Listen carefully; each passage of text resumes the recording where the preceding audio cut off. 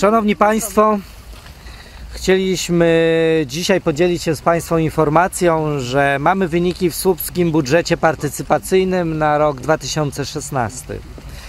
Po podwójnym sprawdzeniu wszystkich kart, również tych uznanych za nieważne, w ramach słupskiego e, budżetu partycypacyjnego na rok 2016 ostatecznie możemy ogłosić, że wpłynęło prawie 10 tysięcy e, głosów, a dokładnie 9164 karty, w tym 5799 kart papierowych i 3365 głosów internetowych. 7655 e, głosów to głosy oddane prawidłowo, a 1509 to karty nieważne. Po zliczeniu wszystkich głosów zebrał się zespół do spraw subskiego budżetu partycypacyjnego i formalnie zatwierdził wybór mieszkańców oraz zgodnie z zasadami przyznał środki, które zostały nierozdysponowane po głosowaniu. Projekty, które wygrały i będą realizowane w 2016 roku.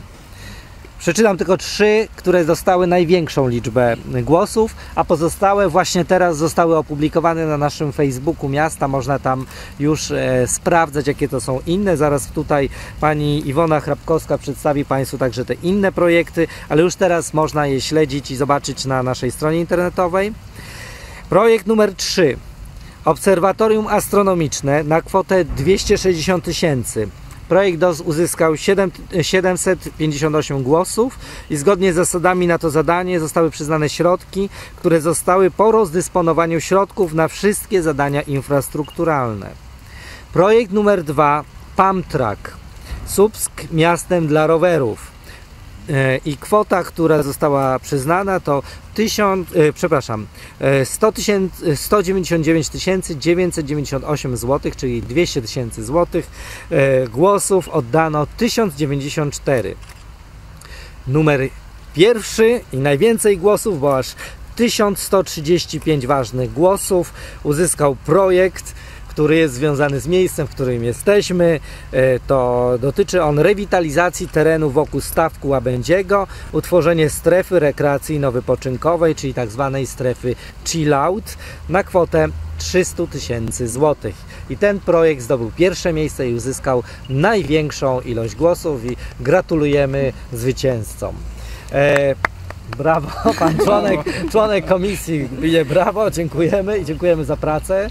E, jeszcze raz. E, pani Iwona Hrabkowska przedstawi Państwu projekty, które w poszczególnych czterech naszych okręgach zdobyły największą ilość głosów. Mhm. Jeszcze powiem o jednym projekcie, który też zostanie dofinansowany, ale w mniejszej kwocie, bo też pozostały środki. To był kolejny projekt, który uzyskał 659 głosów, infrastrukturalny ogólnomiejski, zagospodarowanie kwatery na nowym cmentarzu w Słupsku i budowa pomnika dzieci utraconych.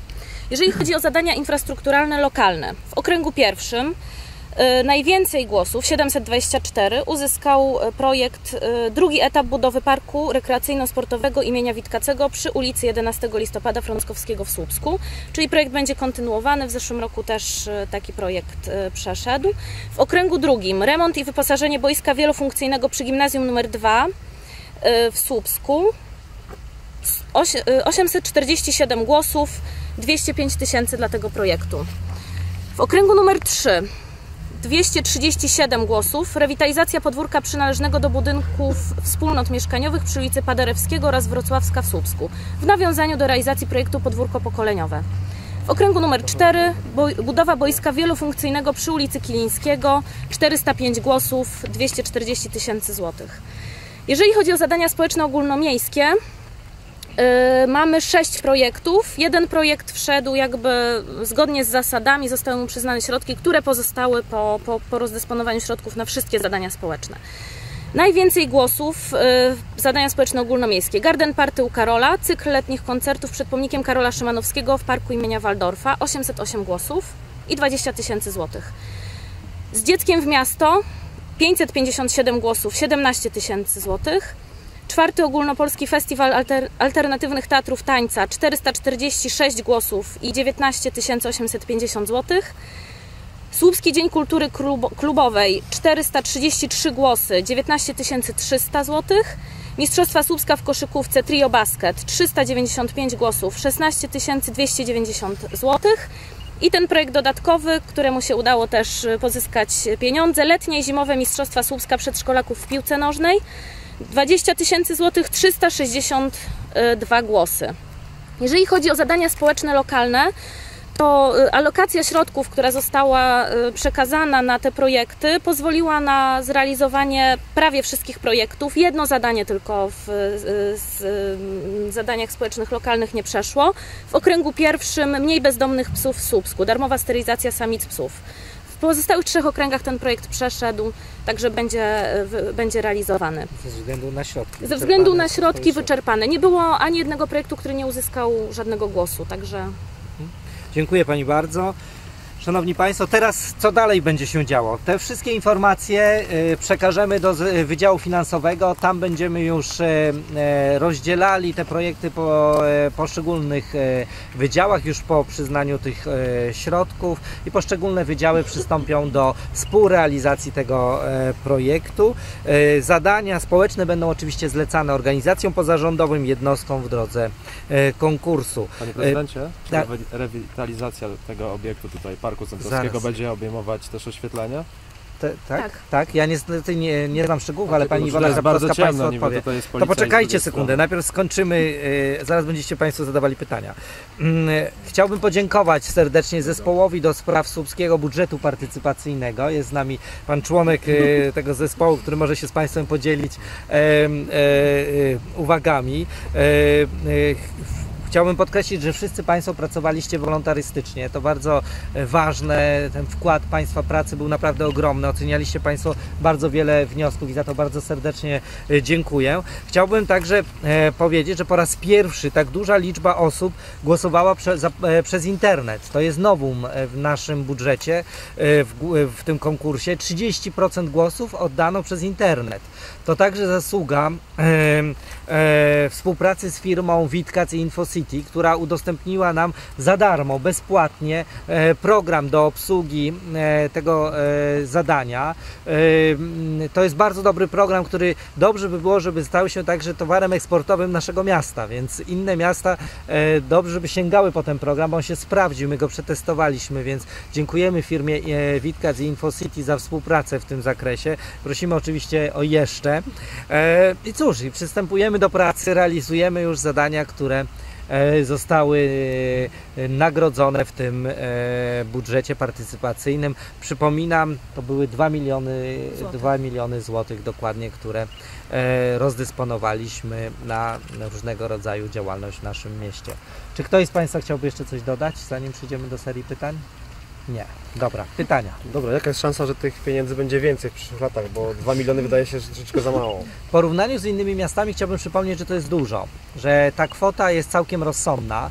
My mamy budżet partycypacyjny porównywalny, jeśli chodzi o proporcje do innych miast i to nie jest e, kwota mała, ale oczywiście e, moim celem jest zwiększanie tego budżetu i uważam, że im więcej osób się angażuje e, w tego typu działalność, tego typu zadania, tym lepiej, ale chciałbym przypomnieć, że jesteśmy w trudnej sytuacji finansowej, że miasto niestety musi liczyć się e, z, środkami. Mało pozostaje nam środków, które możemy dys, rozdysponowywać na tego typu działalność ostatecznie, bo najczęściej są to pieniądze, które są konkretnie dedykowane i tutaj większych inspiracji nie możemy em, em, em, e, wprowadzać. Skrzydeł nie bardzo można e, tutaj rozciągać w tej dziedzinie, ale obiecuję Państwu, że jak tylko znajdziemy jakieś dodatkowe środki, będą one przeznaczane na wzmocnienie budżetu partycypacyjnego.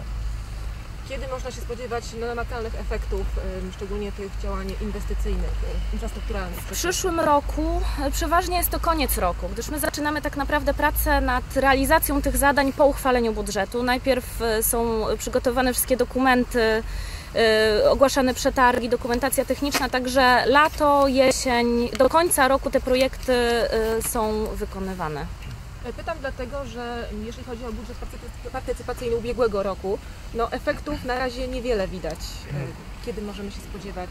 Efektów widać, tylko problem jest tym, że y, budżet partycypacyjny jest nowością y, nie tylko w naszym mieście, ale także w naszym kraju. Instrumenty, które my dzisiaj y, posiadamy, są dość ograniczone i niestety przepisy regulujące budżet partycypacyjny niejasne. I w momencie, kiedy na przykład e, jakaś inwestycja jest niezgodna, e, czy zo- został, e, została zainicjowana przez mieszkańców w sposób, który okazuje się nie do końca zgodny z planami miasta, ciężko e, jest ustalić jasną procedurę w tym zakresie. To blokuje jedną z naszych inwestycji zresztą. E, My testujemy budżet partycypacyjny w mieście i w Polsce i to nie tylko w Słupsku te problemy się pojawiają, ale będziemy robili wszystko, że ucząc się także na tych błędach będziemy starali się jak najlepiej przeprowadzać ten budżet tak, żeby w latach przysz przyszłych przebiegał on bez większych problemów, ale chciałbym zaznaczyć jeszcze raz, wszystkie zadania, które zostały e, nagrodzone w budżecie partycypacyjnym i w tym roku i w latach ubiegłych zostaną zrealizowane. A jak oceniacie Państwo frekwencję, y, udział y, mieszkańców Słupska i osób? Bardzo wysoko, bo dzie- 10 tysięcy osób, tak? 10 tysięcy No, prawie prawie. 10 tysięcy. 10 tysięcy osób to jest bardzo duża część mieszkańców naszego miasta. To jest, e, Na 80 Około- tysięcy uprawnionych. To to Znaczy- jest, to jest około 14-15% pewnie, nie, nie liczyliśmy 16 tego jeszcze. roku. To jest, to jest dużo. bardzo dużo w porównaniu z innymi miastami. Oczywiście to nie jest 100%. Ciężko będzie nam e, dobić do tego e, rekordu, ale w porównaniu ze statystykami w Polsce, gdzie e, słyszałem, że miasta chwalą się, że oni mają rekordową liczbę 14% głosujących, a taki podobno Wałbrzych, który prowadzi ma około 20%, to my nie jesteśmy wcale gorsi. Będziemy oczywiście równali do najlepszych, ale tutaj zaangażowanie mieszkańców jest naprawdę duże i za to też serdecznie dziękujemy. Mogę to jeszcze w uzupełnieniu do tych problemów z, realizacją. No one wynikają z, z różnego rodzaju komplikacji formalno-prawnych. No, chociażby prawo budowlane nie daje nam możliwości realizacji e, pewnych inwestycji, jeśli one nie są przygotowane pod względem e, projektowym, a zazwyczaj z tego typu projektami mamy do czynienia. Tak naprawdę e, z tych doświadczeń wynika, że warto byłoby rozpisywać e, budżet na dwa lata żeby w jednym roku przygotować, zdążyć przygotować projekty, bo potrzeba konsultacji, a przykładem tu jest e, Park Witkacego, który wymagał dwu-, trzykrotnych konsultacji z mieszkańcami, żeby jak najbardziej odpowiedzieć na oczekiwania mieszkańców, a to powoduje, że 3-4 miesiące to jest ten cykl chociażby konsultacyjny, poprawiania projektów, ale jesteśmy na etapie przetargów, ścieżka rowerowa e, do e, Redzikowa, która będzie jakby też kontynuacją planów gminy Słupsk, będzie realizowana. Przetarg był już wykonany na boisko przy ulicy Leśnej i tak dalej, i tak dalej. Także Najgorsza sytuacja z tym Wita Stwosza, tak? E, w tym Wita Stwosza, dlatego Tak. że tam wyszło tak, że no, nie skonsultowano tego, nie myśmy to przygotowywali, nie myśmy optowali za tym rozwiązaniem. Okazało się, że e, ten projekt e, jest troszeczkę nieracjonalny, e, jeśli chodzi o sytuowanie, gdzie e, w tym miejscu, w miejscowym planie zagospodarowania są inne plany całego otoczenia.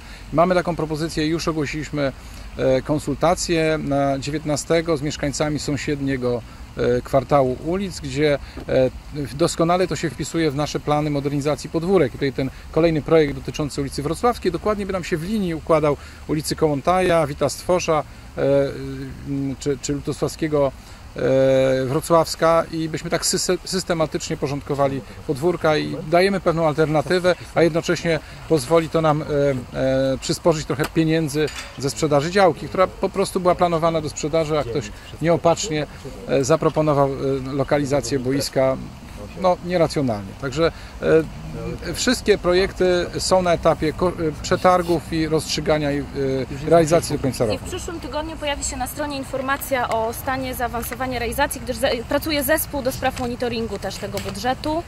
Mamy już wszystkie informacje, na jakim stopniu, w jakim stopniu zaawansowania są te projekty, także taka informacja się pojawi.